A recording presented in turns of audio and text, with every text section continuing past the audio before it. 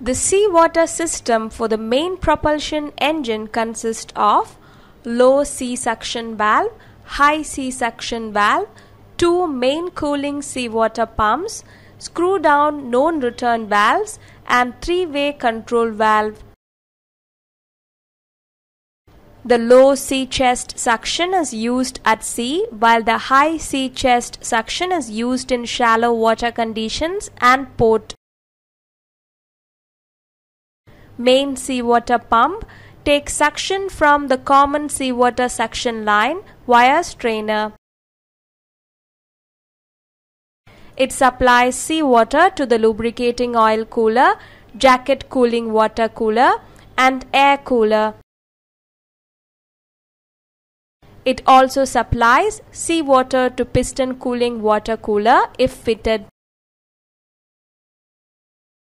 A pneumatic three-way valve is controlled by a temperature sensor located at the pump discharge. It controls the quantity of seawater to be recirculated based on the seawater temperature.